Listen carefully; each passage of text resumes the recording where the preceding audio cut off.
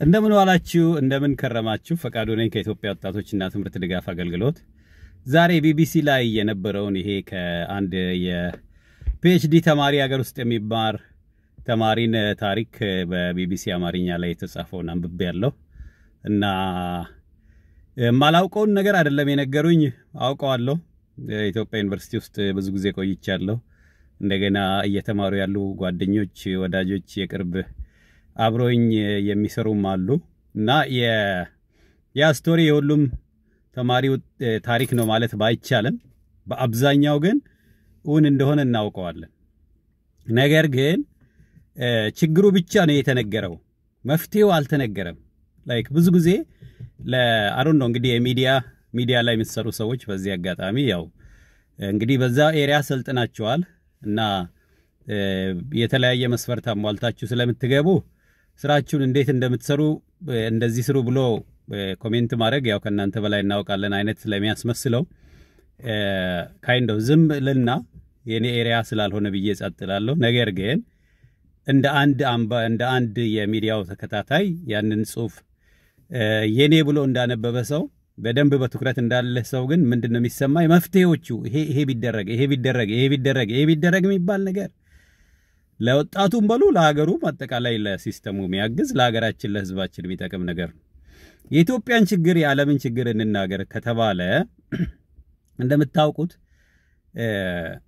እኔ ምናልባት አሁን እኔ በጣም የተሻለ ቦታ ያለው ሊመስላችሁ ይችላል። okay አሜሪካ ስላለሁኝ ምናምን ያው ለብዙ ሰው አሜሪካ ማለት ብዙ ነገር ችግር የሌለበት ሰው ከኢትዮጵያ ጋር እናወዳድረው አንችልም። ምንም ጥያቄ የለውም። ጥሩ ነገር አለው አሜሪካ አሜሪካ ካለው ተማሪ እኩል አሜሪካ ከሚኖረው ሰው እኩል ጋር ደግሞ ስታወዳድሩኝ እዚህም አሜሪካ ውስጥ ያሉትን የተለያዩ ተማሪዎች የሚያልፉበትን ውጣ ውረድ ሳይ ሁሉ ሀገር የየራሱ የየራሱ ጉዳይ ያለው ነገር ግን አንድ አጀንዳ ስናነሳ የሆነ ችግር ከተነጋገርን ችግሩን ብቻ ተናግረው መተው ችግሩን ብቻ ሪፖርት አድርጎ መተው ግን ምን ይጠቅማል ነው መፍትሄ ይሄ ቢደረግ ይሄ ቢደረግ ይሄ ቢደረግ ይሄ ቢደረግ ቢባል ያለት ለሰውም inspiration ይሰጣል። ያ ወጣት የዛ ባለሙያ ታሪክ የተነገረበት መንገድ ተስፋ የሚያስቆርጥ ይኖ በጣም ጨለማ አድርጎ ነው የተዉት። ምንም direction አላሳዩም።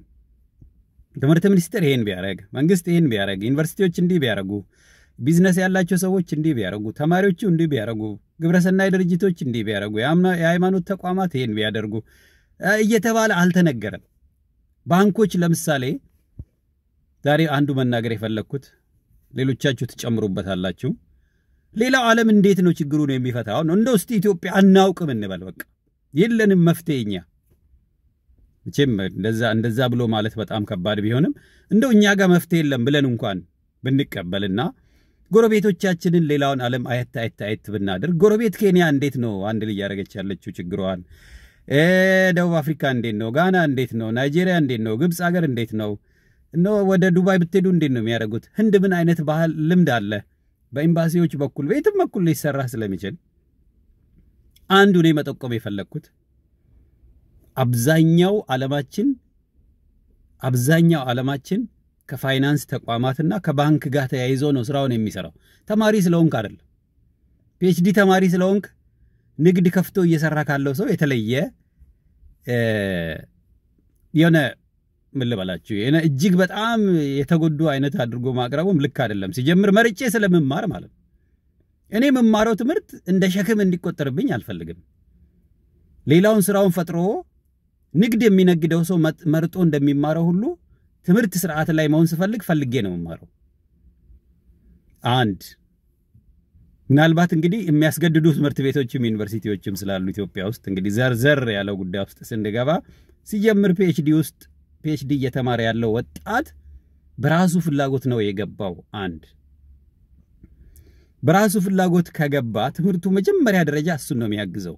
ቀጥሎ ተማሪዎቹን ያግዛል። ቀጥሎ ተቋሙን ያግዛል። ቀጥሎ ሀገርን ያግዛል። ቀጥሎ ዓለምን ያግዛል።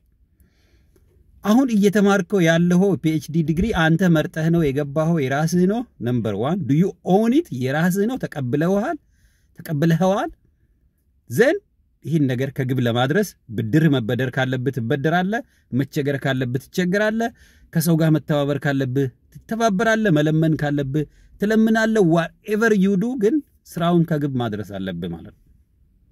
አሁን የምማረውን ትምህርት ራሴ መርጬ ፈልጌ ይጠቅመኛል ብዬ ነው የምማረው። የሚያስፈልገውን መስዋዕትነት ሁሉ ከፍላለሁ፣ እየከፈልኩ ነው። አብዛኛው ሰው እንደዛ ነው የሚማረው። ለምሳሌ እንበድራለን ከባንክ እንበድራለን። ይህ የተበደርኩት አለ እዚህ አሜሪካ ሀገር ከደረስኩ በኋላ የኢትዮጵያ ባንኮች ስለ ለተማሪ ገንዘብ ማበደርን አስበውት ያውቃሉ ወይ ነው። ዶክተሬት ዲግሪ ለሚማር ሰው ማታበድር ከሆነ የማናበድር ከሆነ የኢትዮጵያ ባንኮች ይህንን የማይሰሩ ከሆነ ምናልባት እዛ ማንኳኳት እንጀምር። አይቻልም። PhD financially ትርጉም የለውም። የ PhD ተማሪው ከደሞዙ እየቀነሰ በኋላ መክፈል አይችልም። ብድሩን የማይከፍል ከሆነ ሲጀምር ልክ ያልሆነ ትምህርት ነው እያስተማርን ያለ ነው ማለት ነው። እዚህ economically feasible PhD ትምህርት ያዋጣል በገንዘብ ደረጃ። ባንኮች ይህን area አይተውታል። ቀጥሎ የሙያ ማህበራት አላችሁ። የሙያ ማህበራት ኢትዮጵያ ውስጥ እጅግ የደከመ ያልሰራንበት area ከእኔው ጭምር እያንዳንዳችንን የሚያስጠይቅ እንደ ባለሙያ ማለት ነው የሚያስጠይቀን ነገር ቢኖር ምንድን ነው የሙያ ማህበራት ላይ አለመስራታችን። ባለሙያው እሱን ወክሎ ከፍ ባለ ሀገራዊ አጀንዳ ላይ የሚናገርለት የለውም። በየሚዲያ ላይ ነው የምንንጫጫው፣ ምንጮሆር ምናምን ምናምን ሚዲያ ላይ ወጥተን እንንጫጫለን። ከዛ በኋላ እንትን ይባላል። እንደ ማንኛውም ተራ አክቲቪስት አክቲቪዝም ይሆናል ማለት ነው። አሁን ዛሬ ቢቢሲ ላይ የተወያው የተነገረው ዜና የሙያ ማህበራት ነበሩ ኮንፈረንስ አድርገው ደጋግመው ተወያይተው ተወያይተው ተወያይተው መፍትሄ ማምጣት ያለባቸው። I don't think ይሄ በየሚዲያ ላይ የምናደርገው ጫጫታ ይጠቅማል ብዬ አላምንም። እኔ ሙያ የሙያ ማህበር ይፈልጋል። የሙያ ማህበራት አንድ፣ ባንኮች ሁለት፣ ዩኒቨርሲቲዎች ሶስት፣ ራሱ ፕሮግራሙን እየተማርክ ያለው ወጣት አራት መፍትሄ አለ። እንደ ኢትዮጵያ የሚሰራ ስራ አለ። በአጭሩ ስለ ኢትዮጵያ ምን እየሰራ እንዳለን አሁን በዚህ መንገድ ይከብደኛል። የፊታችን ቅዳሜ በኢትዮጵያ ሰዓት ምሽት 12 ሰዓት ላይ እንገናኝ። ይህንን አጀንዳ እንደ አንድ አጀንዳ እንወያያለን። መፍትሄም አለ። መፍትሄዎች አሉ። ሊሰሩ የሚችሉ ስራዎች ስላሉ አብረን እንስራ ላለሁ በጣም አመሰግናል።